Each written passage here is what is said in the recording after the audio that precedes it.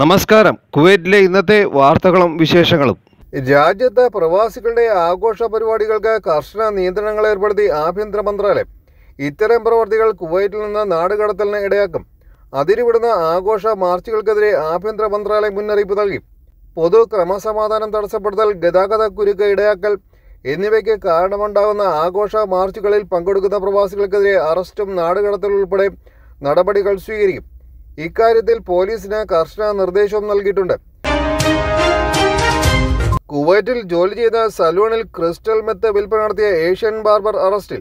ജലീ ബൽഷുവേക്കിലെ ഒരു പുരുഷ സലൂണിൽ ബാർബറായി ജോലി ചെയ്യുന്ന ഒരു ഏഷ്യൻ മയക്കുമരുന്ന് കച്ചവടം നടത്തുന്നതായി റിപ്പോർട്ട് ലഭിച്ചതിനെ തുടർന്നാണ് ക്രിമിനൽ ഇൻവെസ്റ്റിഗേഷൻ ഉദ്യോഗസ്ഥർ അന്വേഷണം ആരംഭിച്ചത്. വിശദമായ അന്വേഷണത്തിനൊടുവിൽ പ്രതിയെ പിടികൂടി. വിൽപ്പനയ്ക്ക് തയ്യാറാക്കിയ ഷാബു അടങ്ങിയ ബാഗുകൾ ഇയാളുടെ കൈവശത്ത് നിന്ന് കണ്ടെത്തി. പിടികൂടിയ വസ്തുക്കളുമായി പ്രതിയെ ആവശ്യമായ നിയമ നടപടിക്ക് ബന്ധപ്പെട്ട അധികാരികൾക്ക് കൈമാറി. രണ്ടായിരത്തി ഇരുപത്തിനാല് മാർച്ച് എട്ടിന് വിസ നൽകുന്നത് പുനഃസ്ഥാപിച്ച ശേഷം കഴിഞ്ഞ ഒമ്പത് മാസത്തിനിടെ കുവൈറ്റിൽ ഒരു കുടുംബ സന്ദർശക വിസ ലംഘനം പോലും രേഖപ്പെടുത്തിയിട്ടില്ലെന്ന് ആഭ്യന്തര മന്ത്രാലയം residency and nationality affairs assistant under secretary major general Ali Al Adwani അറിയിച്ചു. ജനറൽ ട്രാഫിക് ഡിപ്പാർട്ട്മെന്റും ജനറൽ റെസ്ക്യൂ പോലീസ് ഡിപ്പാർട്ട്മെന്റും എട്ട് ദിവസത്തിനുള്ളിൽ നാൽപ്പത്തിയാറായിരത്തി അഞ്ഞൂറ്റി അറുപത്തിരണ്ട് ട്രാഫിക് നിയമ ലംഘനങ്ങൾ രേഖപ്പെടുത്തുകയും ആയിരത്തി അറുന്നൂറ്റി നാൽപ്പത്തെട്ട് ട്രാഫിക് അപകടങ്ങൾ കൈകാര്യം ചെയ്യുകയും ചെയ്തു. നവംബർ മുപ്പത് മുതൽ ഡിസംബർ ആറ് വരെയുള്ള കാലയളവിൽ ജനറൽ ട്രാഫിക് ഡിപ്പാർട്ട്മെന്റ് ഉദ്യോഗസ്ഥർ നാൽപ്പത്തിയഞ്ച് നിയമലംഘകരെ മുൻകരുതൽ തടവിലേക്കും പന്ത്രണ്ട് പ്രായപൂർത്തിയാക്കാത്തവരെ പബ്ലിക് പ്രോസിക്യൂഷനിലേക്കും റഫർ ചെയ്തു. ഇന്ത്യൻ പ്രധാനമന്ത്രി നരേന്ദ്രമോദി ഡിസംബർ ഇരുപത്തിയൊന്നിന് കുവൈറ്റ് സന്ദർശിക്കും. ഡിസംബർ മൂന്നാം വാരം നിശ്ചയിച്ച സൗദി അറേബ്യൻ സന്ദർശനത്തിന് ഇടയിലാണ് മോദിയുടെ കുവൈറ്റ് സന്ദർശനം. കുവൈറ്റ് അമീർ Sheikh Mishal Al Ahmad Al Sabah ഉൾപ്പെടെ കുവൈറ്റ് ഭരണ നേതൃത്വവുമായി ചർച്ച നടത്തിയ അദ്ദേഹം വൈകിട്ട് ഹവലിലെ കോട്ടിയാട് ഇൻഡോർ സ്റ്റേഡിയത്തിൽ ഇന്ത്യൻ സമൂഹത്തെ അഭിസംബോധന ചെയ്യും. ഇന്ത്യൻ തൊഴിലാളി ക്യാമ്പുകളിലും പ്രധാനമന്ത്രി സന്ദർശിക്കും. കഴിഞ്ഞ ആഴ്ച ഇന്ത്യ സന്ദർശിച്ച കുവൈറ്റ് വിദേശകാര്യമന്ത്രി അബ്ദുള്ള യഹിയ കുവൈറ്റ് സന്ദർശിക്കാനുള്ള ക്ഷണക്കത്ത് നരേന്ദ്രമോദിക്ക് കൈമാറിയിരുന്നു. നാൽപ്പത്തിമൂന്ന് വർഷത്തിനു ഇത് ആദ്യമായാണ് ഒരു ഇന്ത്യൻ പ്രധാനമന്ത്രി കുവൈറ്റ് സന്ദർശിക്കുന്നത്. ആയിരത്തി തൊള്ളായിരത്തി എൺപത്തി ഒന്നിലാണ് ഇന്ത്യൻ പ്രധാനമന്ത്രിയായിരുന്ന ഇന്ദിരാഗാന്ധി കുവൈറ്റ് സന്ദർശിച്ചത്. കുവൈറ്റ് ആസ്ഥാനമായുള്ള ബാങ്കിൽ നിന്നും വായ്പ എടുത്ത മലയാളികൾക്ക് തിരിച്ചടയ്ക്കാൻ അവസരമൊരുക്കി ബാങ്ക് അധികൃതർ. ഘട്ടം ഘട്ടമായി പണം തിരിച്ചടയ്ക്കാനാണ് അവസരം. കോടികൾ വായ്പ എടുത്ത് തിരിച്ചടയ്ക്കാനാവാതെ കുവൈറ്റ് വിട്ടതിനെ തുടർന്ന് മലയാളികൾക്കെതിരെ കേരള പോലീസിൽ ബാങ്ക് അധികൃതർ പരാതി നൽകിയിരുന്നു.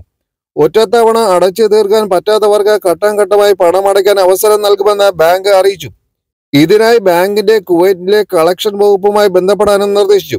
കുവൈറ്റിലെ ബാങ്കിൽ നിന്ന് എഴുന്നൂറ് കോടി രൂപയാണ് മലയാളികൾ വായ്പ എടുത്തത് തിരിച്ചടവിൽ വീഴ്ച വരുത്തി മാസങ്ങളായിട്ട് ബാങ്കിനെ ബന്ധപ്പെടാതിരുന്ന സാഹചര്യത്തിലാണ് അധികൃതർ കേരളത്തിലെത്തി എ ഡി ജി പിക്ക് നേരിട്ട് പരാതി നൽകിയത്. ആയിരത്തിലധികം മലയാളികൾക്കെതിരെയാണ് ബാങ്ക് അധികൃതർ പരാതി നൽകിയത്. ബാങ്കിനെ കബളിപ്പിച്ച് കടന്നവർക്കെതിരെ കുവൈറ്റിൽ ആദ്യം കേസ് രജിസ്റ്റർ ചെയ്ത ശേഷമാണ് കേരളത്തെത്തി പരാതി നൽകിയത്. രണ്ടായിരത്തി പത്തൊമ്പത് രണ്ടായിരത്തി ഇരുപത്തിരണ്ട് കാലയളവിലാണ് കൂടുതൽ പേരും വായ്പ എടുത്തിട്ടുള്ളത്. ഇ വിസ സേവനം താൽക്കാലികമായി നിർത്തിവെച്ചതായി കുവൈറ്റ് ആഭ്യന്തര മന്ത്രാലയം അറിയിച്ചു. ഇതുമായി ബന്ധപ്പെട്ട നടപടിക്രമങ്ങൾ മെച്ചപ്പെടുത്തുന്നതിന് ലക്ഷ്യമിട്ടാണ് നടപടിയെന്ന് അധികൃതർ അറിയിച്ചു. ഇതോടെ കുവൈറ്റിലേക്ക് വരുന്നതിന് മുമ്പ് വിസ ലഭിക്കുന്നതിന് നേരത്തെ ഓൺലൈൻ പ്ലാറ്റ്ഫോം വഴി ഉപയോഗിച്ചിരുന്ന അമ്പത്തിമൂന്ന് രാജ്യങ്ങളിൽ നിന്നുള്ള പൗരന്മാരെ ഈ തീരുമാനം ദോഷകരമായി ബാധിക്കും. ഈ വിസ സംവിധാനം നവീകരിക്കുന്നതിനുള്ള വിപുലമായ പദ്ധതിയുടെ ഭാഗമായാണ് സസ്പെൻഷൻ നടപടിയെന്ന് മന്ത്രാലയം വ്യക്തമാക്കി. കുവൈറ്റിൽ ആഭ്യന്തര മന്ത്രാലയത്തിന്റെ നേതൃത്വത്തിൽ പൗരത്വ പരിശോധനകളും തുടർന്നുള്ള പൗരത്വം റദ്ദാക്കലും പുരോഗമിക്കെ പ്രതിസന്ധിയിലായത് നൂറുകണക്കിന് പ്രവാസികൾ. പൗരത്വം റദ്ദാക്കപ്പെട്ട കുവൈറ്റുകളെ നേരിട്ടുള്ള സ്പോൺസർഷിപ്പിലോ അവരുടെ കമ്പനി വിസയിലോ ജോലി ചെയ്യുന്ന പ്രവാസികൾക്കാണ് പ്രതിസന്ധിയിലായത്. പൗരത്വം റദ്ദാക്കുന്നതിനെ തുടർന്ന് തങ്ങളുടെ സ്പോൺസറുടെ ഫയലുകൾ മരവിപ്പിക്കപ്പെട്ടതോടെ വിസ പുതുക്കൽ ട്രാൻസ്ഫർ ചെയ്യൽ ക്യാൻസലേഷൻ തുടങ്ങിയ ഒരു നടപടിക്രമവും നടത്താനാവാതെ ആശങ്കയിലാണ് അവരുടെ കീഴിലുള്ള പ്രവാസികൾ. കുവൈറ്റിൽ വൈകിട്ട് മുതൽ തണുപ്പ് വർദ്ധിക്കും. കാലാവസ്ഥാ നിരീക്ഷകൻ ഈസ റമദാനാണ് ഇത് സംബന്ധിച്ച മുന്നറിയിപ്പ് നൽകിയത്. പകൽ സമയത്ത് താപനിലയിൽ വർധനവുണ്ടെങ്കിലും ചൊവ്വ ബുധൻ ദിവസങ്ങളിൽ രാത്രികാലങ്ങളിൽ താപനില ക്രമേണ കുറയും. വടക്ക് പടിഞ്ഞാറൻ കാറ്റിന്റെ ഫലമായി അടുത്ത ശനിയാഴ്ച മുതൽ തിങ്കളാഴ്ച വരെ രാജ്യത്ത് അതിശൈത്യം അനുഭവപ്പെടുമെന്നും അദ്ദേഹം അറിയിച്ചു. രാജ്യത്തിന്റെ എല്ലാ മേഖലകളിലും പരിശോധനാ ക്യാമ്പയിനുകൾ തുടരുമെന്ന് Kuwait fire force chief major general Talal Al Roumi അറിയിച്ചു. നിയമലംഘനങ്ങൾ കാലാവധി കഴിഞ്ഞ ലൈസൻസുകൾ ലൈസൻസ് ഇല്ലാത്ത കെട്ടിടങ്ങൾ തുടങ്ങിയവ നിരീക്ഷിക്കുന്നതിനായി എല്ലാ മേഖലകളിലും കർശനമായ പരിശോധനകൾ നടത്തും. ഷുബൈക്ക ഇൻഡസ്ട്രിയൽ ഏരിയ ഉൾപ്പെടുത്തി ചൊവ്വാഴ്ച പരിശോധന നടത്തിയതായും അദ്ദേഹം അറിയിച്ചു. പ്രോപ്പർട്ടി ഉടമയുടെ സമ്മതത്തോടെയോ അല്ലെങ്കിൽ പ്രോപ്പർട്ടി പൊളിക്കുന്നത് മൂലമോ റെസിഡൻഷ്യൽ വിലാസങ്ങൾ ഇല്ലാതാക്കുന്ന പ്രക്രിയ തുടരുകയാണെന്ന് public authority for civil information അറിയിച്ചു.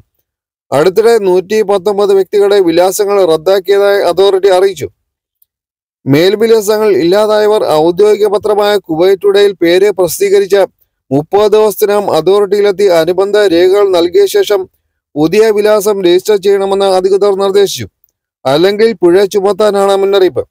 ആയിരത്തി തൊള്ളായിരത്തി എൺപത്തിരണ്ടിലെ മുപ്പത്തി രണ്ടാം നമ്പർ നിയമത്തിലെ ആർട്ടിക്കിൾ മുപ്പത്തി മൂന്ന് പ്രകാരം നൂറ് ദിനാറിൽ കുറയാത്ത പിഴ വരെ ചുമത്താനാകും.